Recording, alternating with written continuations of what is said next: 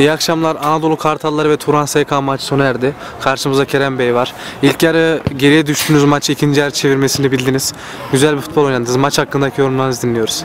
Maç e, ilk yarı gerideydik. Bugün benim hastalığım vardı. Oyuna kötü etki etti ama ikinci yarı toparlandık. Çok iyi bir şekilde maçı kurtardık. 7 haftadır yenilmiyoruz. E, yenilmeyeceğimiz anlamına gelmiyor bu. Ama her zaman daha iyisi için oynuyoruz. Söyleyeceklerim bu kadar. Teşekkür ederim. İyi akşamlar. İyi akşamlar.